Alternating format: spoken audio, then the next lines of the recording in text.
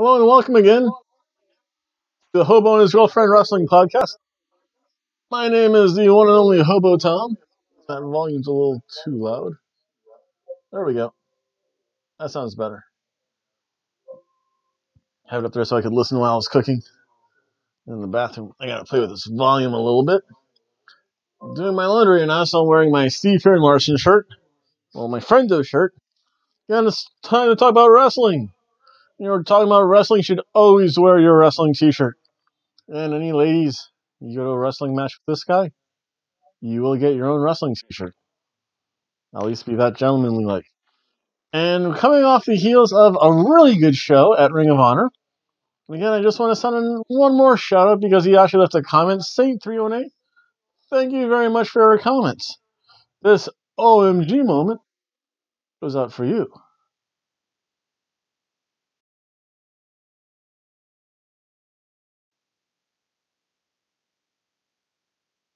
Let's talk about some WWE for a change. Let's change gears from indie shows to more mainstream. Again, I'd like to thank everyone for watching. Please like, share, comment, and subscribe. Enjoy my big breakfast. I have my very fancy watermelon and bourbon drink. Ooh.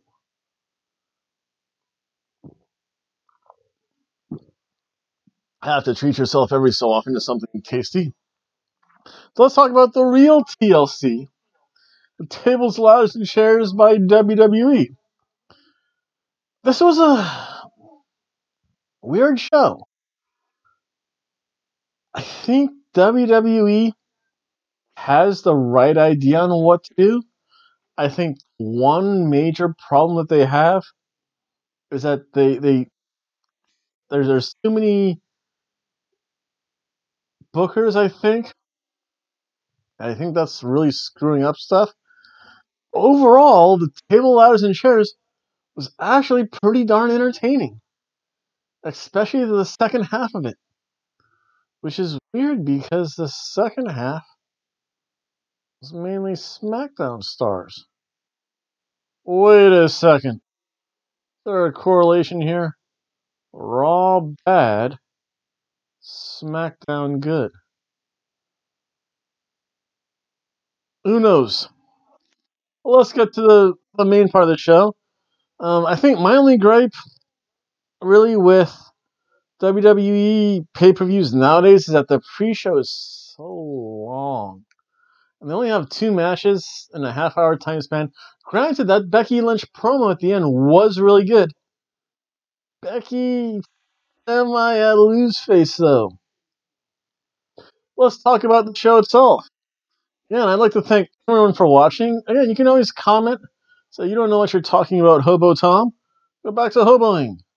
Go back on the street and collect your aluminum. Or you can say, wow, you're right. How does a hobo know all this stuff? Let's start off with the pre-show. And this is what I mean by WWE. Oh, um, to, uh, to start off, well, well I, will get to that at the end, actually. But I was a 50-50 booker. Means I actually picked six out of potentially 12 matches. But you can tell all the X's and, and things, and I signed it, so so it's validated. I was a 50-50 booker. I'll get to that later, which is weird. But let's start off with the pre-show. I have no idea why they put this match on the pre-show. It blew my mind because minus the main event, this was for the longest part of the show the the match of the night. This was utterly amazing. I think I had the start as match of the night. Did I? Yeah, match of the night. Catnap. I was spot on with this. But oh my gosh, if they would let these cruiserweights do what they do all the time and put them on the main show, that would be thoroughly amazing. The WWE would have no problem selling out arenas. But right now, even I can still get Amway center seats. Granted, it is the hobo section up there towards the ceiling. There's still 20 bucks. There's like still 100 seats open. And that's just the one section. So, means this guy, Hobo Tom, is going to a Monday Night Raw soon. But this is so amazing. The one thing I love about the cruiserweight, there's so much transitional wrestling, a lot of chain wrestling. I love me some technical chain wrestling matches. If you do that, like this match was nothing but but um, chain spot reversal, spot reversal, spot reversal, spot reversal, spot reversal. It was awesome. Again, and it also showcased a little bit of the the wrestler's personality. Buddy Murphy's from Australia. He's a brawler. Very good technical brawler.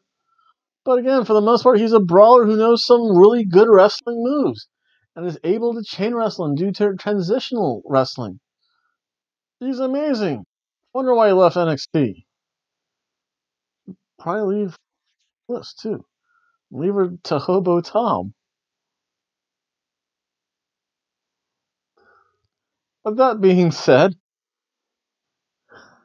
it's my own little shot there.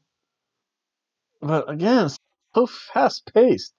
Cedric Alexander's amazing. The things that man can do. I mean, this this would be a truly dream match. But you have Lio Rush versus Ricochet versus Cedric Alexander.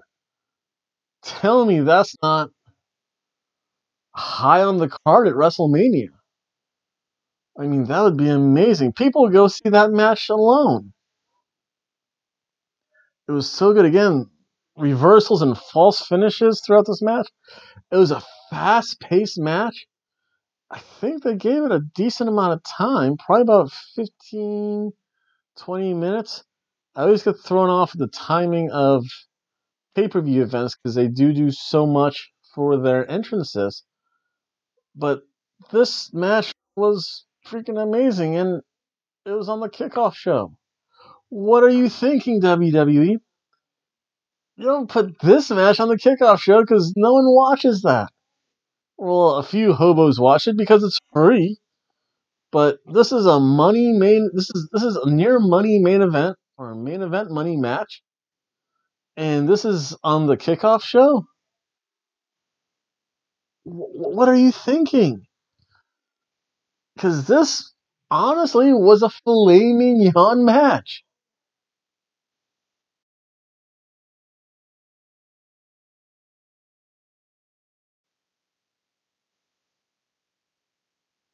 This match was amazing.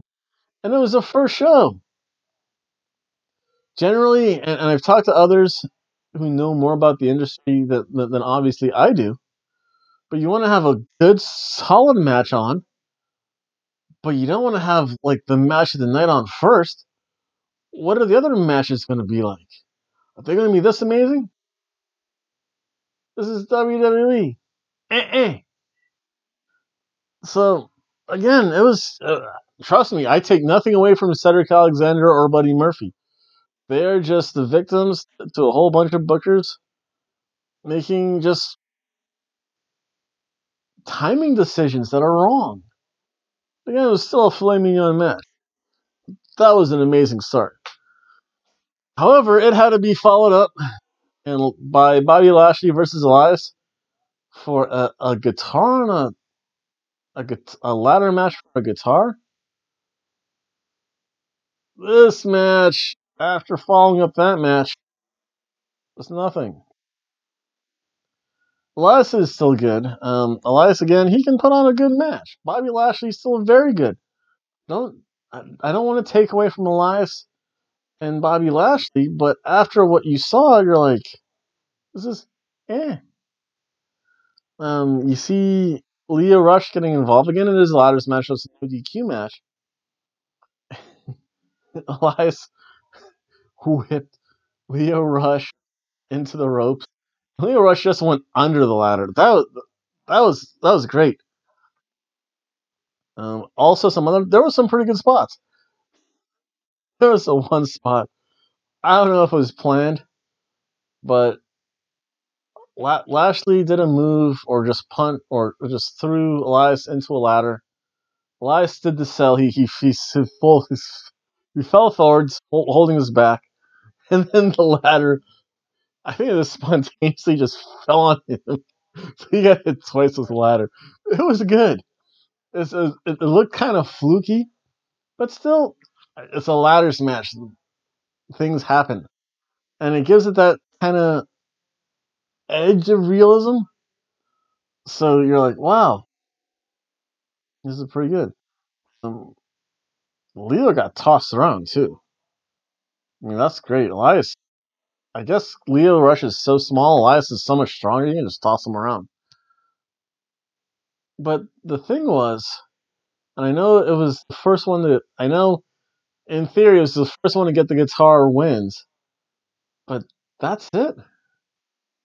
I mean, it should be you have to get the guitar and use the guitar, and then you win.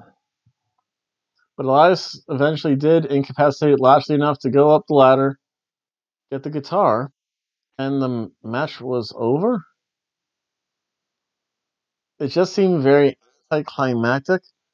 And then, of course, Bobby Lashley took the guitar from Elias. And he hit him over the head with the guitar. I forget the exact sequence. This was in the pre show. I was kind of doing stuff, but I know it was Lio Rush hit a frog splash. Bobby Lashley did the, the almighty move and then hit him over the head with the guitar. And that was it. It was a fun enough match, but after what you saw to begin out to begin with,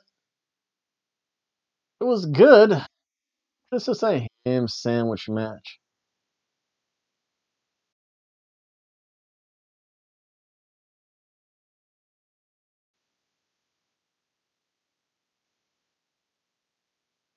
But nevertheless, Elias did win. And there was an amazing Becky promo. Again, just a lot of promos, a lot of talking. It just seems the pre-show seems the kickoff show seems so long. At least for WrestleMania kickoff shows, they start off with some announcing, they introduce the announcers, and then and then the rest. I mean, granted, they have. I went. They had the cruiserweight match between Neville and Austin Aries. Then they had the Andre the Giant Memorial Battle Royal. So it, it took up more time. It's just not talking. Yep, yep, yep, yep. It was okay. Then, of course, TLC, the main card started. And it didn't start off great. I'll be honest. Um, you had Car- Carmella and R Truth, a fabulous Truth, versus Alicia Mahal versus Alicia Fox and Jinder Mahal. And it was okay. Um, they did their signature dance break, and, and the Singhs started to dance them. And Car- Carmella just like kicked them. I mean, Carmella's beating up the Singh brothers. It's okay. I have no idea why they're taking part of the, of the, of the dance break, though. I'm kind of getting over the dance break.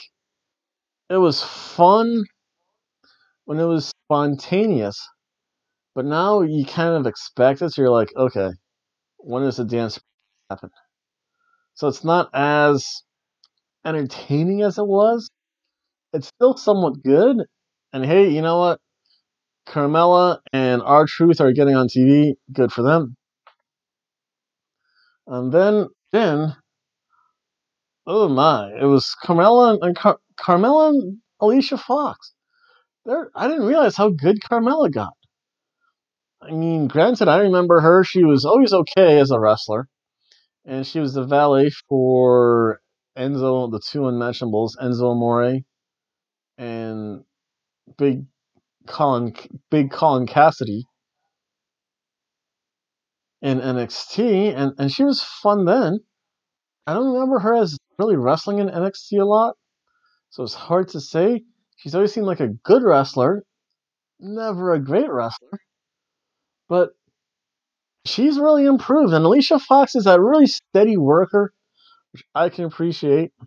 Again, Alicia Fox is actually out of Ponte Vedra, Florida. I've never seen her? Maybe I have. Probably doesn't associate with hobos. But uh, Fox gets into the ring wearing wearing the captain's hat, and God bless R-Truth, he took the captain's hat from her. He looked like a total goofball, And Alicia Fox just Shanti. So it was fun. It was a fun match. It was all fun, okay match. Again, this was not the match I was looking forward to. Uh, the things are just there just to get abused now. Eventually, Carmella did hit the code of silence on Alicia Fox. I don't. I think when R-Truth and Jinder got into it, it was it was okay. It's just really back and forth stuff. But Carmel, but Carmella did get Alicia Fox into the code of silence. It was weird because Alicia Fox tapped out really quick.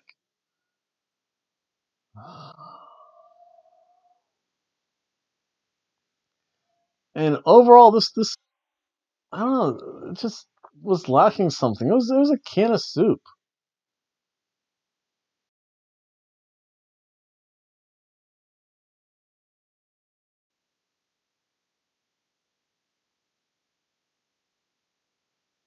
I mean, I don't know, it just lacked something.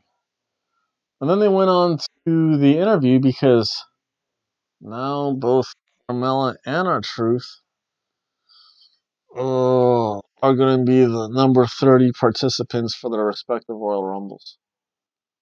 R-Truth somehow is going to screw this up. He might show up to the Women's Royal Rumble at spot number 30 instead of Carmella. Cost Carmella the spot. Carmella's not winning the Women's Royal Rumble. R-Truth is not winning the Men's Royal Rumble. I guess like the only anticipation is going to be number 29 because sometimes number 30 you're like oh who's number 30 who's it going to be? Is it going to be this guy? Is it going to be that guy? Oh wait it's going to be R-Truth I need a drink. That's that's what it comes down to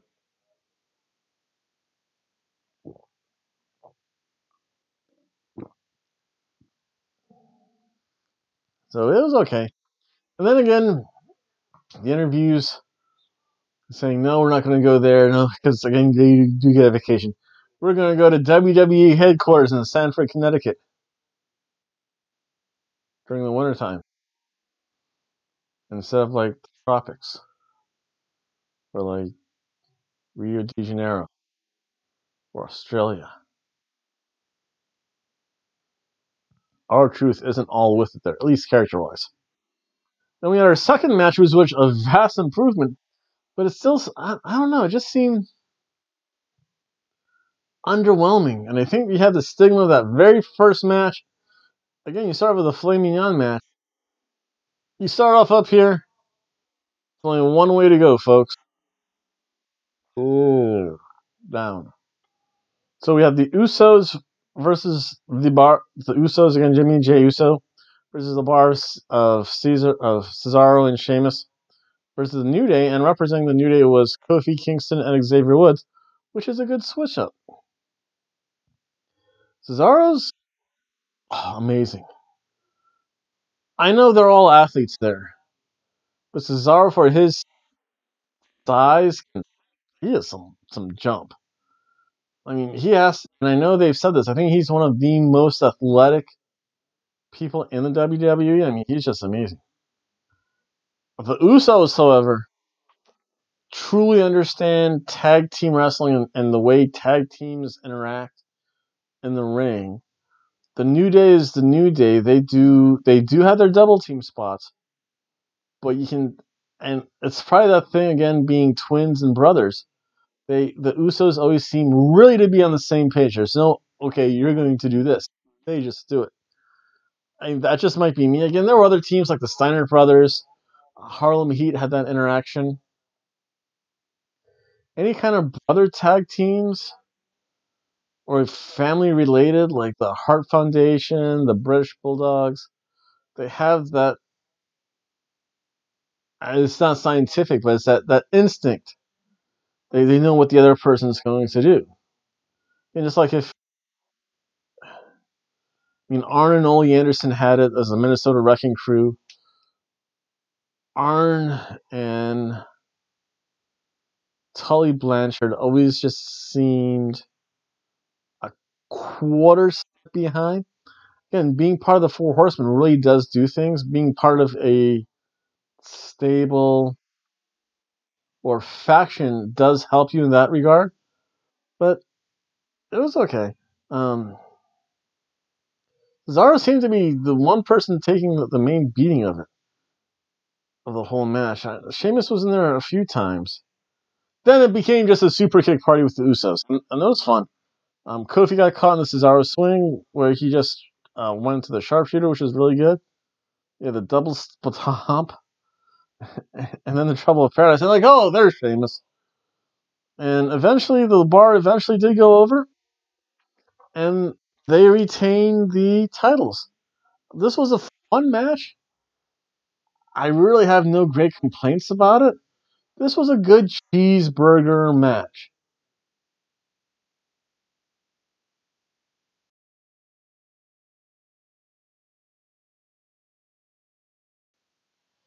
Wow, this video is going to be a little on the long side, but again, this was a pretty big card. Um, I think they had the two matches really come out the mixed, mixed match challenge match, the tag team match, like within like half an hour. Then you have the Baron Corbin versus Braun Strowman match with Heath Slater as the referee. Um,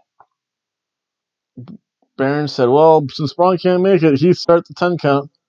One, two, three, four, five, six, seven. Braun!" And Braun music hits at the seven again, arm in the sling, and then he cuts a promo on Baron Corbin. And then everyone seems to come to want to help Braun Strowman all of a sudden. Apollo, because it's it's a no DQ match. I forget what kind of match it was, but it's a no DQ match. Apollo Crews comes down with the chair. Roode and Gable come down with a chair. And you're thinking, like, is this going to be the entire face locker room showing up? It almost was. Finn Balor came down with a chair. Baron Corbin says, eh, eh, eh, I'm not, not having enough, none of this. I'm, I'm going to go, go take a yes. But, eh, eh. Kurt Angle comes down with a chair. And then it's just a, just a beatdown. And Baron Cor- a one arm Baron Corbin still manages to pin, or a one arm, I'm sorry, Braun Strowman manages to pin Baron Corbin. Baron Corbin's no longer on GM. I guess it'll probably be Kurt Angle. Mm, what can you say other than it was a beatdown with like guys with chairs? Again, it was fun only because Baron because Braun Strowman came back. But overall, this was like not even a squash beating. This was actually a piece of toast.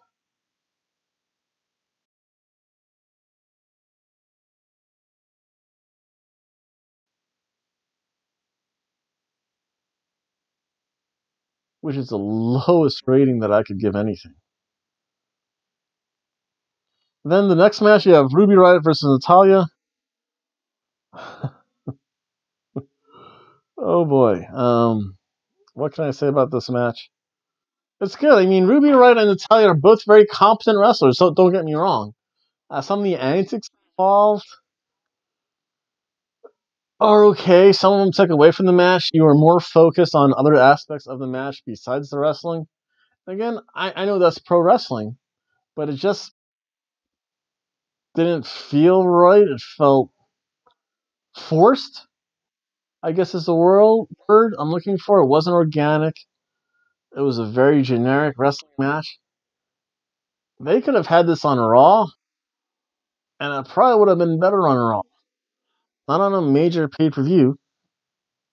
Again, Ruby Riott comes out with the Riott. Natalya's in the ring. Um, Ruby Riott comes out with the Riott Squad, and they're carrying, of course, the table with Jim Neidhart on it. Um, and, and, you knew the other members of the Riott Squad were going to go through the table. Even though I wanted Ruby Riott to win, they still could have done that. Nat- um, Natalya eventually wins. I'll get to that. Um, Liv is the first to go through a table. Then Sarah Logan goes through a table. I mean, it was a wasn't a bad match. It was just I don't know. very generic. Um, Ruby did do one very creative thing. I'll, I'll give her this much. She's a very good ring general in the fact that when she got stuck in the sharpshooter, she didn't try to crawl to the ring, but she hit one of the tables set up in such a way where it fell on Natalya. And that looked really good. And then, again, all the other silly props came out. I wasn't a big fan of putting Neidhart on a table or his picture on a table. That was that was okay, and I understood it for Raw. But then Natalya picked out a table that had a Ruby Riott on it. I guess that's the end of this feud. Gee, I remember when the WWE used to have like year, two years, like 16 month feuds. They managed to tell this whole story partially about month, month and a half. Just seems too short for a blow off like this. And then um, she also, uh, Natalya, also pulled out her father's jacket, put that on. So Jim the Animal Neidhart's jacket came out. And after that, I'm like, oh, okay, you have to Tranquila. I understand it's your father and your father's stuff. And granted, I still use a lot of my grandfather's stuff. I still have, I still use uh, my grandfather's fishing reels and stuff, but I think one broke. And granted, there was some sentimental value to it, but I'm like, it's a fishing reel. I can go to a new one. You know those probably look like the Neidhart's glasses. I don't think Natalya would ever bring her father's sunglasses to the ring because you know what happens then. Um, so again, eventually, um, Natalya did power bomb Ruby right through the table. It just seemed like a generic smack, like generic Raw match. And I know it's a feel good moment for Natalya, but this is just like a ham sandwich match.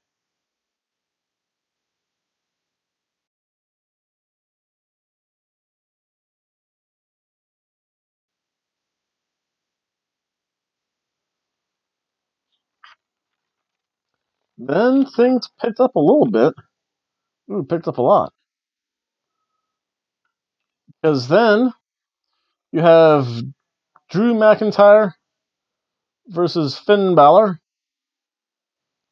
Again, it was this whole match just went by quickly. I think each match was only about 15 minutes long, but it wasn't the 20 long slog that Ring of Honor was. Even though some matches do deserve, they do need and deserve that 20 30 minute, uh, 20 30 minutes time frame. Ring of Honor matches, and I know there were a few of them, but they seem like some of the matches just went on too long. When I saw this, I'm like, either this pay per view is going to last forever, or these are going to be some darn quick matches. They got the order wrong, but the timing right, though, I think. Because all the matches felt well paced for the most part. Um, it didn't seem too long or too short. Again, with the with, with a few exceptions, the Baron Corbin, Braun Strowman one I knew was like three or five minutes at most after they made the introductions. But all the other matches seemed about right. So you have a Drew McIntyre versus Finn Balor, and I thought Finn would come out as a demon. He didn't. That kind of left me a little disappointed. Again, Drew Drew McIntyre is is more of the brute. Um, Finn is the more finesse guy. He had that DDT, and you know what? Drew McIntyre is an animal because he's a he's a truly great wrestler because he sold that DDT in a way that no one else could, and it it just seems so smooth and so realistic. Drew's good. Again, Finn again does the faster pace. It was a good match. She was, uh, this match actually seemed like a Raw main event match. Um, I don't know how Finn's neck isn't broken though, or how he didn't re-injure that shoulder because he just uh, Drew does that white noise or the Celtic cross from the second rope and just drops Finn like on the this upper back, lower neck. Ooh, that just looks vicious. Then, then once Drew mocked Finn, it's like, oh, oh okay, Finn's winning. Um, Dolph Ziggler did show up. Uh, he didn't hit the super kick, but that was enough of a distraction for Drew McIntyre for Finn to get the advantage, and Finn Balor won. Again, it was a good match. This did, this did feel better than the other match. It felt felt more like a Raw main event match, which is saying a, a, a little bit. I mean, instead of being a ham sandwich, this is a good cheeseburger match.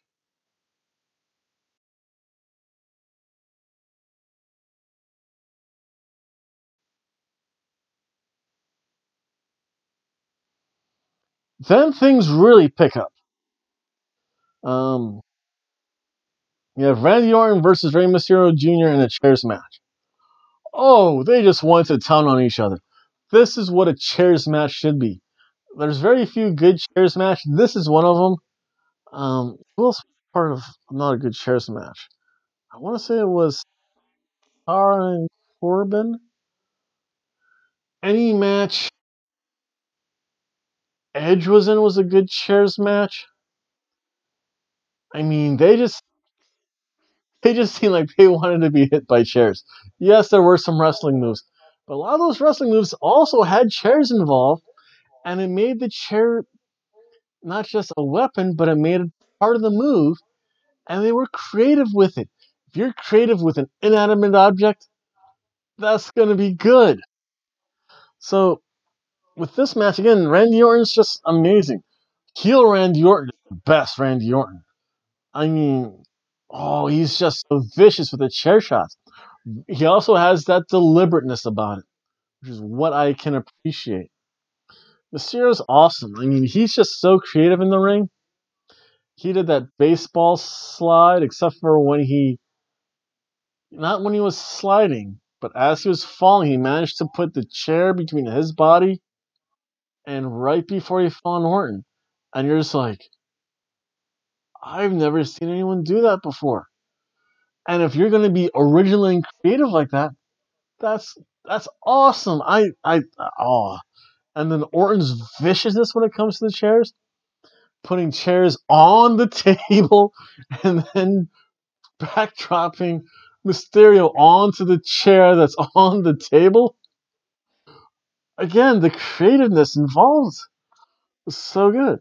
And I think I like the fact that the, finisher was quick. I had Randy Orton sitting in a chair, and I kind of blinked and looked away. I think my cat came in the room, and I kind of missed the true finish. But again, if you're going to be creative and different and do new things, you are going to get a surf and turf rating, my friend.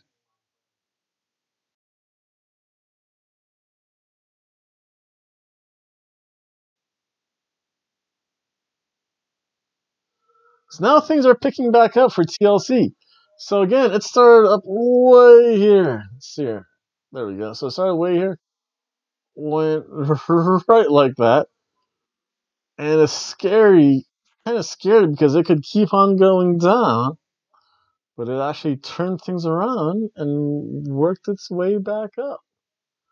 It's always good to see. So it, granted, it was like a roller coaster because you're like, okay, this this is getting this could be very very very long.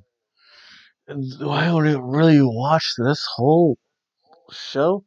Uh, especially after I saw Ring of Honor when they kind of trolled WWE for their uh, TLC matches, but it wasn't. Um, then we have Ronda Rousey versus Nia Jax, and this was a pretty good match. Um, starts off Ronda just jabbing away at Nia Jax. Obviously, she she knows what she's doing. She's she's learned how, how to how to pull her punches a little bit. But again, it showed Ronda Rousey's going. Um, her one weakness in wrestling is that whenever she doesn't know the the move or know what to do next in a wrestling match, she goes back to her MMA background, which is good for now. It might get a little bit old, especially if she takes on the more experienced wrestler. So again, um, Nia Jax just showed how powerful he was. Uh, a couple set out power bombs um, from an armbar attempt. That, that was pretty good. Graves is, is just funny on the mic. Uh, again, just uh, Nia Jax was being more vicious, going after the arms. She, Nia Jax was actually probably the better wrestler in this match. Um, Ronda Rousey does know the MMA and all the submissions and, and strikes. But as far as wrestling goes, Nia Jax was actually pretty solid in this match. I mean, she's using the rim post. Again, she's a heel. She's supposed to use things like that. Do you want to see someone go Yano just take off all all the turnbuckle pads? That's my own. That's that's my own little goofball thing. And Nia Jax looked like she had a new outlet, new outfit. Um, again, Nia Jax is just too big compared to Ronda Rousey, who in and and and I'll say this in MMA they do have weight classes, so Nia Jax would be actually above her weight. And again, it was just hard for Ronda Rousey to do things to Nia Jax that she did on people more in, in her own weight class, whatever that whatever that is. Let's just say Nia Jax is 170 pounds. Ronda Rousey's 110, 115.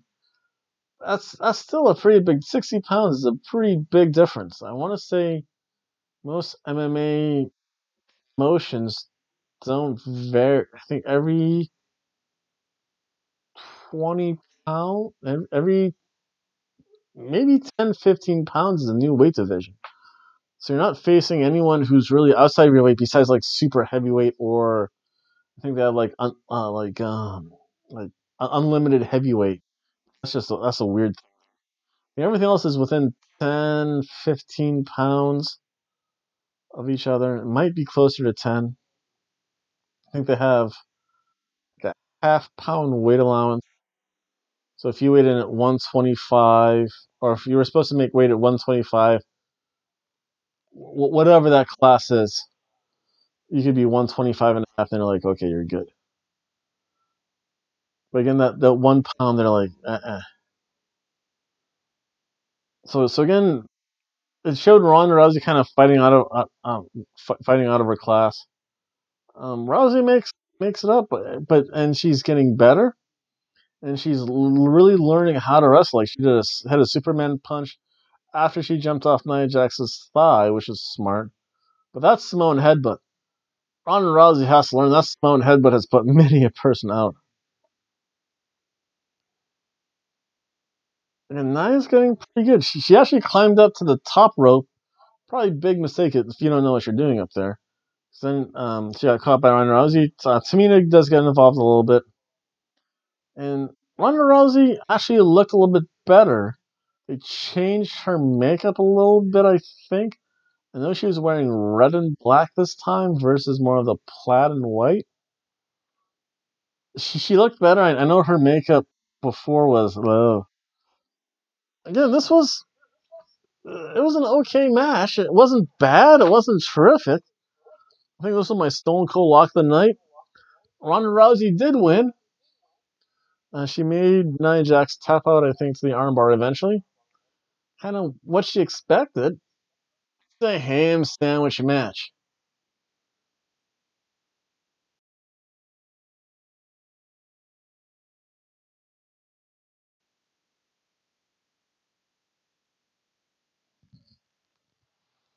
And I was again, this, this kind of also shocked me here at the end.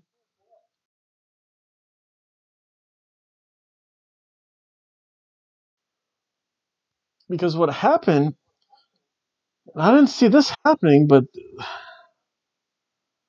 makes me feel bad a little bit because they're treating the WWE Championship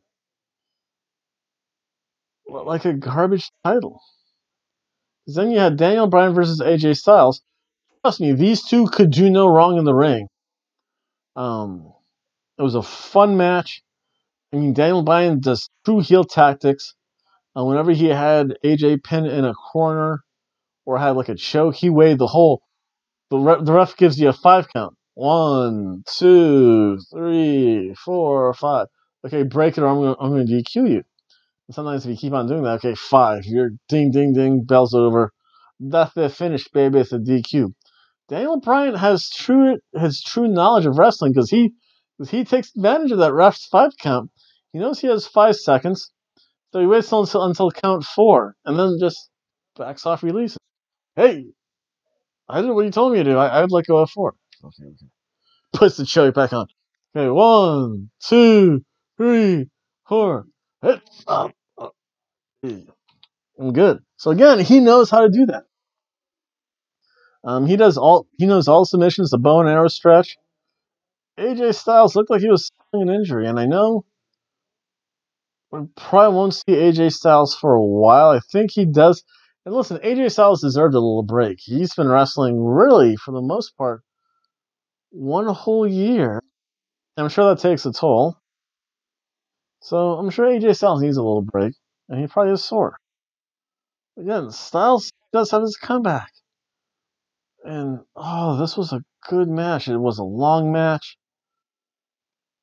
They gave this the right amount of time. I want to say this was the longest match of the card, probably 20 plus minutes, but it didn't feel too long though, which is good. Again, these two really know how to pace each other. They know how to pace. They know how to set a wrestling pace. they're really good at telling the in-ring story. And it was again a fun match. AJ Styles could have a three-star match mop. I could even give AJ Styles probably a four-star match. Well, maybe a three-star, maybe a three and a half star match. Be a little bit better than a mop, I think. Again, he does have his comeback. Um, this time though, Daniel Bryan hits that final big leg kick though, which he's been missing the past few times. Again, both they had reversals and counters for each other's finishers, signatures, and eventually it was a roll-up victory by Daniel Bryan that got him the win, and really darn good surf and turf quality match.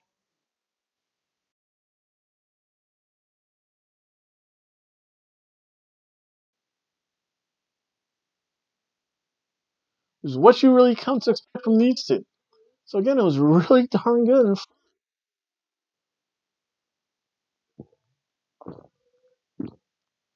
Oh, sorry about that. Got a little thirsty there. Then, again, my only complaint is that these two matches probably should have been switched because they're making the IC title feel more important than the WWE Championship, which I don't know. It doesn't. If you're the WWE champion, I can see why they had the main event as it was for the for the SmackDown Women's Championship. I get that. That's that's the women's belt, and this and this is really a big money feud. But you should really have the IC title go before the main belt. Then you had Seth Rollins versus Dean Ambrose. Dean Ambrose come out to the raid sign, which actually I like. It's a little different. Um, shows that he's a heel. I don't mind that much. Now Seth Rollins burn repeated burn it down. Eh, it's okay. This was a really fast start though, and, and Ambrose is definitely has that heel moveset. Um, Seth eventually just uh, stares Dean on the outside. There's a lot of back and forth between the two. The thing that really made this match great was the jawing between the two of them. That just, if you have two wrestlers who know how to trash talk, and they probably go through the whole backstage. Hey, I'm going to say this. Is this okay? Oh, you, you say whatever. That's that's great. Like, you mind if I say this? This. Oh, dude, whatever. So the fact that they were able to, to jaw each other back and forth in the match, it added a little bit extra to that match, I think, versus wrestlers that just go there and just wrestle. They trust me. Some wrestlers can put on an amazing match and not say anything to each other. But if you can jaw back and forth with your opponent, it's just so good. I mean, the trash talking, the moves they were pulling out. I think the only thing maybe that would have made this match better is if because Dean Ambrose did win. Um, Seth Rollins tried to pin him with a, a Falcon's arrow. It would be neat to see Seth pull out the pedigree again, just really for big matches like this one, where you have to really go deep into your bag of tricks AJ Styles done that. He has like four or five signatures finishers.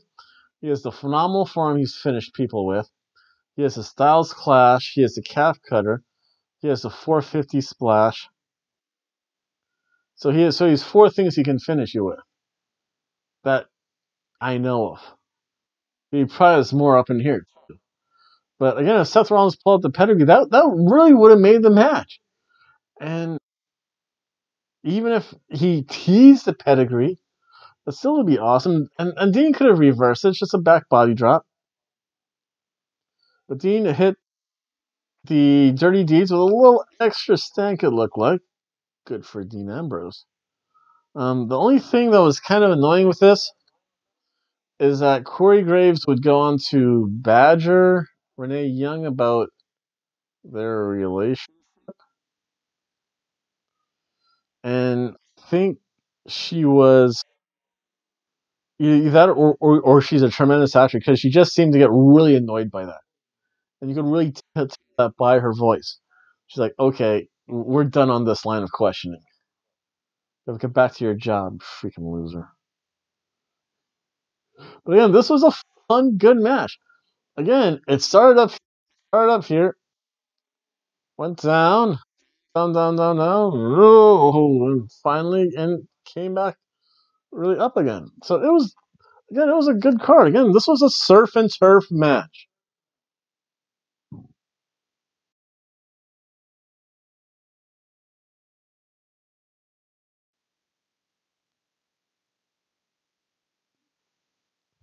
And then in the main event of the evening, you have the challenger from Charlotte, North Carolina. She is the one only woo, daughter of the Nature Boy. She is Charlotte Flair. And the second challenger, hailing from Osaka, Japan. She is the Empress of Tomorrow. She is Asuka. And the champion from Dublin, Ireland, the man, Becky Lynch. This was an amazing match. And there was trash talking by Becky and Charlotte back and forth. I don't think Asuka said much. If she did, it was in Japanese. It was probably awesome too. Um, Asuka was the first to get the ladders. Then Charlotte gets the ladder. And then tables are set up. Once tables and ladders are involved, chaos ensues. So Charlotte eventually goes to the table. And that looked like a rough bump. Because you could hear Charlotte say something she wasn't supposed to say on TV. And I think she actually did something to her ribs.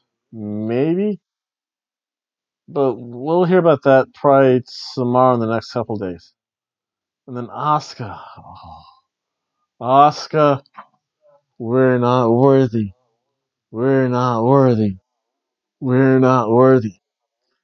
She has had that evil smile. And on Asuka, it looks so good. This is NXT Asuka. This is prime NXT Asuka.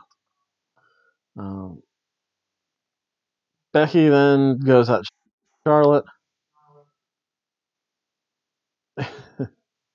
with chair shots, and then it's just chair shots for everyone. Um, then you feel bad about the poor German announce table. It's like whatever happened to the Spanish announce table? I guess they're spreading the love to all the countries. Um, because Charlotte got stuck on the table, and Becky was did a leg drop, but Char- but Asuka was smart. She rolled off that table. So now you're thinking, ooh, might Asuka actually win? But then, of course, kendo sticks come out. Charlotte just starts beating up both of them with kendo sticks. Um, Becky gives chase a little bit. She gets she gets said kendo stick. well, actually, Asuka goes up the ladder. Becky gives chase. This is mine. Get off my title. It's mine. I love it. And then I have no idea how Charlotte Flair is even functioning after going through all those and all those shots. Then there was some nasty barricade spot where I don't know if the barricade was stuck like that or if it was not necessarily planned to be a barricade spot but became one. Because, ooh, that was another Uchi moment. and Charlotte put Becky through a table, and then what happened? Ronda Rousey shows up as Charlotte and Becky are on the ladder, and Ronda just shoves that ladder down. So there's only one ladder left, and guess who's on it? Asuka. Asuka wins the title, and really an amazing match because the crowd was hot on this. They were saying, "This is awesome." They started out Becky, Becky. It was a fast-paced match throughout. You're going to do this WWE. This match gets a filet mignon every day of the week.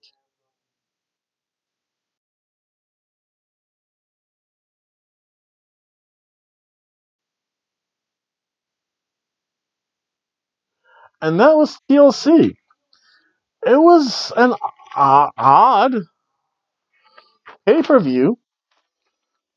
Not re- not really a bad pay per view. I thought it was going to be awful. Actually, I had so low expectations, with the exception of a few matches, especially after seeing Ring of Honor and how they kind of trolled TLC. But this this was different. This was amazing though. This shows that when WWE really wants to put out a good product, they still can. They just it's like they choose not to. And I don't understand that. But again, I was a 50-50 booker tonight.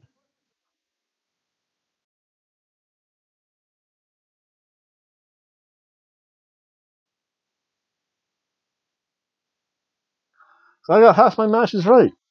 That was pretty good. Um that was the last pay-per-view of the WWE season for this year, 2018. Look for me live streaming the next WWE pay-per-view. So now I know the WWE says, eh, eh, you cannot do a whole laundry list of stuff. I've kind of learned my lesson. I'd like to thank everyone for watching. Again, please like, share, comment, and subscribe. Uh, a little bit about this week. Monday is going to be the typical Raw. Raw show. Tuesday is going to be the typical SmackDown show. On Thursday, there is a tribute to the troops special. And then I think the WWE goes into the best of next week. So you'll have at least one special show. I'm putting together that card right now for my Christmas Day matches.